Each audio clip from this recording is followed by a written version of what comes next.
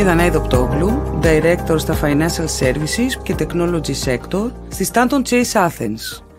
Και εδώ μαζί με την Όλγα Σαραντοπούλου, Consultant στον ίδιο σέκτορα, είμαστε στο πρώτο podcast της σειράς Leadership Insights της Stanton Chase Athens και θα αναφερθούμε στις προκλήσεις που καλείται να αντιμετωπίσει ο ελληνικός ασφαλιστικός κλάδος στην επόμενη πενταετία, αλλά και στις ανάγκες που θα προκύψουν για τις νέες δεξιότητες στον κλάδο. Γεια σας και από εμένα. Δανάη, σημαντικές αλλαγές και ψηφιακός μετασχηματισμός σε πρώτο πλάνο στον ασφαλιστικό κλάδο τα τελευταία χρόνια στην Ελλάδα. Θες να μας μιλήσεις έτσι λίγο πιο διεξοδικά γι' αυτά; Βεβαίως και ξεκινάμε με ένα πολύ ωραίο κομμάτι. Ο ασφαλιστικός κλάδος είναι αλήθεια ότι ε, υφίσταται μεγάλες αλλαγές λόγω της έντονης προσαρμογής σε εξελισσόμενες ανάγκες των πελατών, θα έλεγε κάποιος, στην ανάπτυξη τεχνολογίας, σε αυξημένες ρυθμιστικές απαιτήσεις, αλλά και στην υιοθέτηση των κριτηρίων ESG. Η εξέλιξη τεχνολογία αναμένεται να αλλάξει το τοπίο, Όλγα, και στον τρόπο λειτουργίας των ασφαλιστικών οργανισμών. Η χρήση της τεχνητής νοημοσύνης, αυτό το λεγόμενο AI που λέμε όλοι, θα επιφέρει ανατροπές από την ανάληψη κινδύνων ως τη διαχείριση και πληρωμή των αποζημιώσεων. Ας πούμε όμως κάτι πιο συγκεκριμένο. Η τεχνολογία έχει μεταμορφώσει τον τρόπο με τον οποίο οι πελάτες αλληλεπιδρούν, με τις ασφαλιστικές εταιρείες βεβαίως, διευκολύνοντάς τους να έχουν άμεση πρόσβαση στις υπηρεσίες που προσφέρουν, έτσι. Η, ανάδυ... η ανάδυση των εταιριών InsurTech θα μπορούσε να πει κάποιος ότι είναι μία από τις μεγαλύτερες επιπτώσεις ψηφιοποίησης καθώς αυτές οι εταιρείες αξιοποιούν την τεχνολογία για να προσφέρουν καινοτόμα ασφαλιστικά προϊόντα και πιο εξατομικευμένες υπηρεσίες. Τα κριτήρια ESG, όπως είπαμε και πριν και τα αναφέραμε αρχικά, και η οθέτησή τους από τις ασφαλιστικές εταιρείες αποτελούν πρόκληση και σημαντικό στοιχείο της βιωσιμότητάς τους τα επόμενα χρόνια. Θέλω να αναφερθώ εδώ σε μια έρευνα που διάβασα πρόσφατα της PwC η έρευνα λοιπόν αναφερόταν στο εξής. Έλεγε ότι το 80% των επενδυτών παγκοσμίως δίνει ιδιαίτερη έμφαση στις επενδυτικές του κινήσεις και στο πώς μια εταιρεία διαχειρίζεται τους κινδύνους που συνδέονται με τα κριτήρια αυτά, τα ESG. Με το 75% αυτών να πιστεύει ότι οι εταιρείες πρέπει να εστιάζουν σε αυτά ανεξάρτητα από το αν μειωθούν τα βραχυπρόθεσμα κέρδη τους. Επιπρόσθετα, το 76% των καταναλωτών δεν εμπιστεύεται τις εταιρείες που δεν δείχνουν ευαισθησία προς το κλίμα. Ποιος θα το περίμενε αυτό; Στα δικαιώματα των εργαζομένων και την κοινωνία. Και το 36% των ασφαλιστών παγκοσμίως αναφέρει ότι οι πελάτες είναι το επίκεντρο των στρατηγικών που ακολουθούν βάσει αυτών των πυλώνων του ESG. Εντυπωσιακό δεν είναι. Ταυτόχρονα πολύ θετικό θα έλεγα για την επόμενη μέρα. Είναι αλήθεια, είναι αλήθεια. Οι ασφαλιστικές εταιρείες επενδύουν όλο και περισσότερο στην υιοθέτηση των κριτηρίων αυτών, των ESG. Θέτοντας στο κέντρο αυτή την υιοθέτηση των κριτηρίων, στο κέντρο της στρατηγικής τους. Στο πλαίσιο αυτό, όπως αντιλαμβάνεται από πού υπάρχει αυτή η ανάγκη, είναι αναμενόμενο ότι οι ασφαλιστικές εταιρείες θα πρέπει να στελεχωθούν με άτομα που διαθέτουν αυτή την εξειδίκευση στο ESG και το οποίο, όπως καταλαβαίνει κάποιος, δύναται να επιφέρει και τα επιθυμητά αποτελέσματα. Τέλεια. Μήπως θέλεις να αναφερθούμε λίγο τώρα και σε αυτά τα περιθώρια ανάπτυξης στην Ελλάδα; Mm. Βεβαίως, γιατί και ο ασφαλιστικός κλάδος στην Ελλάδα συγκεκριμένα έχει πολλά περιθώρια περαιτέρω ανάπτυξης. Η πανδημία που πρόσφατα όλοι ζήσαμε, καθώς και οι φυσικές καταστροφές όπως οι πυρκαγιές που είδαμε στην Πάρνηθα, στο Μάτι, οι πλημμύρες που είδαμε οι πρόσφατες στην, στο Θεσσαλικό κάμπο. Όλα αυτά λοιπόν έδειξαν, θα έλεγε κανείς, τροποντινά το, το έλλειμμα που υπάρχει στην ιδιωτική ασφάλιση στην ελληνική αγορά. Τώρα, το έλλειμμα αυτό εν μέρη οφείλεται στις αντιλήψεις των Ελλήνων καταναλωτών, δηλαδή είναι λίγο πιο διστακτική όσον αφορά την ιδιωτική ασφάλιση οι Έλληνες, σε σύγκριση με τους Ευρωπαίους αλλά και τους Αμερικανούς, αλλά και σε μια δυναμία του κράτους να αναγνωρίσει ακριβώς την ιδιωτική ασφάλιση ως μέσο προστασίας που είναι και συμπληρωματικό, αλλά και μπορεί να βοηθήσει έτσι λοιπόν να μην υπάρχουν α, όλες αυτές οι οικονομικές επιπτώσεις που συνεπάγονται μέσα από όλες αυτές τις φυσικές καταστροφές. Άρα να μπορεί να έρθει ο ασφαλιστικός κλάδος, η ιδιωτική ασφάλιση να καλύψει όλες αυτές τις φυσικές καταστροφές και όλα αυτές τις ε, αποσημειώσεις που χρειάζεται να δίνονται στον κόσμο και σε επιχειρήσεις. Οπότε λοιπόν η Τράπεζα της Ελλάδας μάλιστα έχει μιλήσει επανειλημμένα για τη σημασία της συμβολής της ιδιωτικής ασφάλισης στην αντιμετώπιση γενικά όλων των φυσικών καταστροφών και της κλιματικής αλλαγής πιο συγκεκριμένα. Άρα ο ασφαλιστικός κλάδος μπορεί να λειτουργήσει με έναν διτό τρόπο. Πρώτα απ' όλα μπορεί να αναλάβει κινδύνους που το, το κράτος ε, δεν δύναται να τους καλύψει για οικονομικούς λόγους κυρίως, όπως για παράδειγμα οι πλημμύρες και οι πυρκαγιές που αναφέραμε προηγουμένως, αλλά και φυσικά να λειτουργήσει ο ασφαλιστικός κλάδος ως ένας θεσμικός επενδυτής προκειμένου να προάγει την πράσινη οικονομία, όπως πράσινα ομόλογα ή την ασφάλιση των εταιριών με ανανεώσιμες πηγές ενέργειας, Ωστόσο, βλέπουμε τα τελευταία έτσι χρόνια, παρά τις όποιες δυσκολίες, όπως αναφέραμε, αντιμετώπισε ο ασφαλιστικός κλάδος και γενικότερα ο ελληνικός χώρος, ε, βλέπουμε μία ανάπτυξη. Και αυτό ε, το διάστημα έτσι έγιναν πολλές συγχωνεύσεις, ψηφιοποιήσεις, αυτοματοποιήσεις πολλών διαδικασιών και υπηρεσιών των ασφαλιστικών εταιριών. Και έτσι λοιπόν βλέπουμε ότι έγιναν λίγο πιο πελατοκεντρικές οι ασφαλιστικές εταιρείες.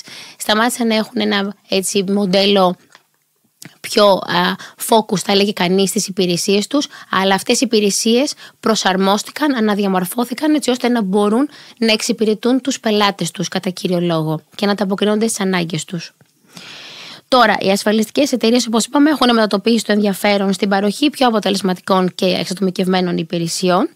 Ε, και φυσικά η ενσωμάτωση της τεχνολογίας και η ανάλυση των δεδομένων μπορούν να μεγιστοποιήσουν όλες αυτές τις δυνατότητες και τις πωλήσεις φυσικά των ασφαλιστικών εταιριών. Επομένως, μερικά από τα βασικά πλεονεκτήματα θα λέγαμε που έχει η ανάλυση των δεδομένων είναι ακριβώς η υιοθέτηση αποτελεσματικότερων στρατηγικών αλλά και οι αποδοτικότερες υπηρεσίες underwriting μέσα από την σωστή ανάλυση των δεδομένων. Τώρα, κοινή παραδοχή, Δανάη, θα λέγαμε ότι αποτελεί ότι ο ασφαλιστικός κλάδος έχει αρχίσει να εξαρτάται όλο και περισσότερο από την τεχνολογία. Το ανέφερες και εσύ προηγουμένως, το βλέπουμε και καθημερινά το ακούμε ε, να συμβαίνει. Από την άλλη, αυτή ακριβώς η πρόοδος της τεχνολογίας θα δημιουργήσει και κάποιες δυσκολίες και πιο συγκεκριμένα γίνονται τα δεδομένα πιο εύκολα στο hacking. Άρα λοιπόν οι διαρροές δεδομένων ή οι επιθέσεις στον κυβερνοχώρο μπορούν να έχουν ένα σημαντικό αρνητικό αντίκτυπο εμποδίζοντας την περαιτέρω ανάπτυξη του ασφαλιστικού κλάδου όπως λέγαμε. Άρα τι πρέπει να κάνουν οι ασφαλιστικές εταιρείες για να γίνουν πιο ανταγωνιστικές και να μπορούν να είναι και βιώσιμες; Θα πρέπει να προσελκύσουν περισσότερους νέους πελάτες, να δημιουργήσουν καινοτόμα προϊόντα, να ενισχύσουν την ασφάλεια στα συστήματά τους με το cyber security όπως όλοι το ξέρουμε σαν έναν όρο, να βελτιώσουν την τιμολόγησή τους, το pricing, να επενδύσουν στην ανάλυση των δεδομένων, τα data analytics όπως είπαμε και προηγουμένως που είναι πολύ σημαντικά για την περαιτέρω αναπτυξή τους και των πωλήσεών τους εν γέννη, αλλά και να δώσουν μια επιπλέον φαρήτα θα έλεγε κανείς στην καλύτερη, αποτελεσματικότερη ανάλυση και ανάληψη του κινδύνου, το risk management. Με βοηθάς πολύ με αυτά που λες γιατί πραγματικά θα θέλω να σχολιάσω τις νέες ευκαιρίες απασχόλησης στον κλάδο. Και είναι δεδομένο ότι όλη αυτή η αναμενόμενη ανάπτυξη την οποία ανέφερες και εσύ πριν θα μπορούσε εύκολα να μεταφραστεί σε ανάγκη από πλευράς των ασφαλιστικών εταιριών για νέες θέσεις ή και ενίσχυση υπαρχουσών με στελέχη τόσο της εγχώριας αγοράς, αλλά και στελεχών που δραστηριοποιούνται στο εξωτερικό. Στο σημείο αυτό θα μπορούσε εύκολα να πει κάποιος «ΟΚ, ωραία τα λέτε ότι υπάρχει αυτή η ανάπτυξη», αλλά τα ερωτήματα που προκύπτουν και αφορούν στα στελέχη του κλάδου είναι τι πρόκειται να ακολουθήσει. Πώς μπορούν τα στελέχη του ασφαλιστικού κλάδου να ευδοκιμήσουν σε αυτό το νέο περιβάλλον; Η απάντηση νομίζω ότι έχει να κάνει με την όλη έννοια της τεχνολογίας, διότι το βέβαιο είναι ότι ο κλάδος θα έχει περαιτέρω ανάγκη από στελέχη με εξειδικευμένες γνώσεις στην τεχνολογία, όπως το artificial intelligence που το έχουμε ξαναπεί, όπως το στην ψηφιοποίηση, στα data analytics, όπως το πεις και εσύ στην κυβερνοασφάλεια, αλλά και στα κριτήρια ESG, όπως το αναφέραμε και πιο πάνω, και πώς αυτά, όλα αυτά, σαν γνώση θα ενσωματωθούν στη στρατηγική της κάθε Νομίζω ότι είναι σημαντικό να αναφέρουμε εδώ ότι από την εμπειρία μας στη Stanton Chase Athens και μέσω των έργων που έχουμε αναλάβει όχι μόνο στον ασφαλιστικό κλάδο αλλά και στους υπόλοιπους κλάδους. Θα λέγαμε ότι οι Έλληνες του εξωτερικού ιδιαιτέρως τα τελευταία χρόνια είναι περιζήτητα στελέχη καθώς συγκεντρώνουν και διεθνή εμπειρία και μεγαλύτερη εξοικείωση με τεχνολογία και την καινοτομία εν γέννη. Αυτό φυσικά είναι συνάρτηση και με την τάση που υπάρχει από την πλευρά των Ελλήνων του εξωτερικού να αναζητούν ελκυστικές θέσεις εργασίας σε μεγάλους οργανισμούς στην ελληνική αγορά.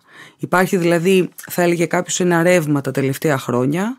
Σωστά, ναι, το βλέπουμε. Με ναι. ε, στελέχη που θέλουν να γυρίσουν πίσω, θέλουν να γυρίσουν πάλι στο, ε, στο, στην χώρα τους και να προσφέρουν και τις γνώσεις στη χώρα τους και στις εταιρείες τις μεγάλες. Απ' την άλλη, σημαντικότατη πρόκληση για τα εγχώρια στελέχη, όπως τα περίμενε mm. κάποιος, αποτελεί βεβαίως το λεγόμενο upskilling, reskilling, έτσι, η επανεκπαίδευση και αναβάθμιση των δεξιοτήτων τους. Διότι χρειάζεται και αυτοί να ανταποκριθούν σε ένα επαγγελματικό περιβάλλον που πλέον μεταβάλλεται διαρκώς και μεταμορφώνεται ριζικά. Θα ήθελα λοιπόν σε αυτό το σημείο, αφού πιάσαμε τους ανθρώπους του εξωτερικού και ε, τους ανθρώπους που είναι ήδη σε ασφαλιστικές εταιρείες, νομίζω ότι θα ήταν σημαντικό να αναφέρουμε και τους ανθρώπους τους νέους, τους νέους πτυχιούχους, γιατί ο κλάδος αυτός θα μπορούσε να αποτελέσει ευκαιρία για αυτούς τους νέους πτυχιούχους. Δεδομένου ότι η προσέλκυση των νέων ταλαντούχων αυτών, ο οποίος μέχρι σήμερα δεν θεωρείται και ιδιαίτερα ελκυστικός, νομίζω ότι αποτελεί μια μεγάλη πρόκληση. Φαίνεται ότι οι ασφαλιστικές εταιρείες τείνουν να εστιάζουν πλέον στη δημιουργία ενός ακόμα πιο ενδιαφέροντος career path; Για αυτούς τους ανθρώπους, ανταποκρινόμενο βέβαια στις ανάγκες και δεξιότητες του μέλλοντος, έτσι, στην προσφορά εργασίας με πιο ευέλικτους όρους, στο επαναπροσδιορισμό της παραγωγικότητάς τους και πώς αυτοί θα τη μετράνε γιατί πλέον φεύγουμε από τη μέτρηση με βάση συγκεκριμένες εργασίες και μεθόδους και πάμε σε μια πιο ε, αξιολόγηση μέσω αποτελεσμάτων. Αρκεί να σκεφτεί κανείς, Όλγα, ότι η ασφαλιστική αγορά αποτελεί πάνω από 8.000 στελέχη από δεκάδες διαφορετικές ειδικότητες. Με πάνω από 50 εκατομμύρια ευρώ σε επενδύσεις για τον ψηφιακό μετασχηματισμό, ο ασφαλιστικός κλάδος φαίνεται ξεκάθαρα ότι ήδη έχει μπει σε μια νέα εποχή. Ο κλάδος αυτός θεωρείται και θα μπορεί να είναι ένας πολύ μεγάλος θεσμικός επενδυτής με πάνω από 17 δις επενδύσεις, ο οποίος βρίσκεται σε σταθερή τροχιά ανάπτυξης, προσφέροντας προοπτικές για επαγγελματική ανέλυξη στους νέους. Τώρα, Δανάη, αντίστοιχες αλλαγές θα δούμε και στο επίπεδο της ηγεσίας των ασφαλιστικών mm. εταιριών. Μιλήσαμε για τα νέα ταλέντα που μπορεί να είναι ε, έτοιμα να ακολουθήσουν ασφαλιστικό κλάδο, αλλά και το upskilling και reskilling και φυσικά τα στελέχη τα οποία έρχονται από την αγορά του εξωτερικού. Πάμε να δούμε τώρα τι μπορεί να γίνει και στο κομμάτι της ηγεσίας, γιατί τα δεδομένα έχουν αλλάξει αρκετά. Άρα, εύλογα κανείς μπορεί να υποθέσει ότι ακόμα και το μοντέλο ηγεσίας θα πρέπει να μετεξελιχθεί. Έχεις πολύ δίκιο, Όλγα, πολύ δίκιο. Οπότε, αυτό που βλέπουμε είναι ότι η νέα εποχή επιτάσσει. Με συγχωρείτε καταρχάς και για την, ε, τη φωνή μου που είναι λίγο σήμερα περίεργη. Η νέα εποχή, λοιπόν, επιτάσσει μια διαφορετική προσέγγιση στο leadership, ώστε να αντικατοπτρίζει όλες αυτές τις ανάγκες και τις προκλήσεις του επιχειρηματικού κόσμου. Υπάρχει λοιπόν μια εστίαση πλέον στη διαφορετικότητα, στην ηθική ηγεσία και την προσαρμοστικότητα στο συνεχώς μεταβαλλόμενο περιβάλλον.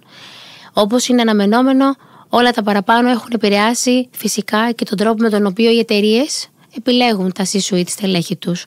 Το βλέπουμε αυτό καθημερινά και εμείς μέσα από τους πελάτες μας με τους οποίους συνομιλούμε, τα κριτήρια τα οποία αναζητούν πλέον είναι τελείως διαφορετικά. Είναι πιο ποιοτικά, θα έλεγε κανείς, τα κριτήρια Ειδικότερα τώρα έτσι τα τελευταία χρόνια η τεχνολογία είναι επίσης που έχει αλλάξει, θα λέγαμε, πολύ τα δεδομένα. Οπότε αναζητούν πάρα πολύ έντονα στελέχη τα οποία έχουν εμπειρία στον μετασχηματισμό και ειδικότερα στον ψηφιακό μετασχηματισμό, στελέχη τα οποία να έχουν έτσι εκτεθεί, θα έλεγε κανείς, μέσα εισαγωγικά του εκτεθεί σε πολύπλοκα, δύσκολα έργα ε, μετασχηματισμού Αυτό έτσι είναι πολύ έντονο στο εξωτερικό, αλλά και στην Ελλάδα τα τελευταία χρόνια. Έτσι λοιπόν ε, αναζητούν και στελέχη που να είναι ηλικιακά νεότερα, άρα ανανεώνουν θα έλεγε κανείς οι ασφαλιστικές εταιρείες και τα στελέχη τους, τα υψηλόβαθμα στελέχη τους. Θέλουμε στελέχη με ένα πιο σύγχρονο mindset σε ό,τι αφορά τη διαφορετικότητα και τη συμπερίληψη, αλλά και πιο ποιοτικές, θα έλεγε κανείς, οι ηγετικές δεξιότητες που απαιτεί η νέα εποχή. Και αυτό το βλέπουμε όχι μόνο στον ασφαλιστικό κλάδο, Δανάη, το βλέπουμε να συμβαίνει σε όλους τους κλάδους. Ε, ακόμα και στον τραπεζικό κλάδο που θα έλεγε κανείς, στον ένας πολύ παραδοσιακός κλάδος, βλέπουμε ότι και εκεί τα στελέχη θέλουν να έχουν μια πιο διαφορετική κουλτούρα και νοοτροπία, τα ηγετικά στελέχη ιδιαίτερα. Άρα λοιπόν, καθώς έτσι οι επιχειρήσεις επεκτείνουν τις δραστηριότητές τους στη διεθνή αγορά, υπάρχει και ανάγκη για ηγέτες, όπως είπαμε, με πολυεθνική εμπειρία. Ε, ηγετικά στελέχη δηλαδή, τα οποία προέρχονται από το εξωτερικό και έχουν ε, την εμπειρία έργων και μέσα από αυτόν έχουν αναπτύξει διαφορετικές δεξιότητες, ικανότητες και ένα skill set το οποίο είναι transferable, μπορεί δηλαδή να μεταφερθεί και στις ασφαλιστικές εταιρείες στην Ελλάδα και μάλιστα είναι και αυτά ακριβώς τα στελέχη τα οποία θα μπορέσουν ενδεχομένως να κάνουν και τη διαφορά και αυτά τα οποία θα συνδράμουν και θα αποτελέσουν έτσι σημαντικό κομμάτι της περαιτέρω εξέλιξης ασφαλιστικού κλάδου και των εταιριών εν γέννη στην Ελλάδα. Νομίζω ότι φτάνοντας προς το τέλος, θα έλεγε κάποιος ότι είναι δεδομένο ότι ε, προκύπτει και από την κουβέντα μας σήμερα ότι η επιρροή της τεχνητής νοημοσύνης ε, σε όλους τους κλάδους είναι και αναμφισβήτη και εκτεταμένη.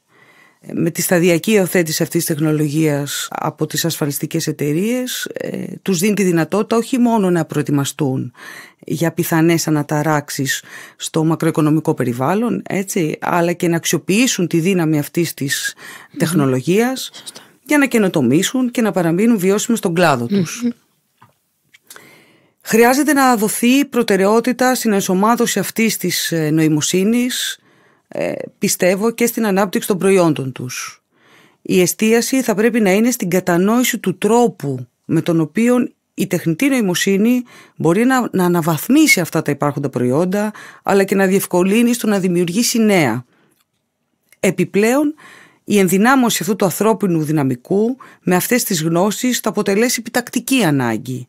Ένα ενημερωμένο και εξειδικευμένο ανθρώπινο δυναμικό μπορεί να αλλάξει τα δεδομένα.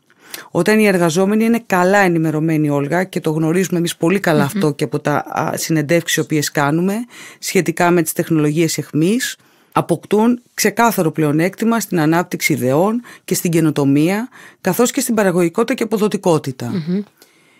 Οι οργανισμοί, από την άλλη, χρειάζεται να επενδύσουν σε προγράμματα κατάρτισης, που εξοικειώνουν τις ομάδες τους με τις δυνατότητες τεχνητής νοημοσύνης και γενικά με όλες τις μορφές και τα παρακλάδια της τεχνολογιας που αναφέραμε, διασφαλίζοντας ότι θα παραμείνουν στην πρώτη γραμμή των τεχνολογικών εξελίξεων.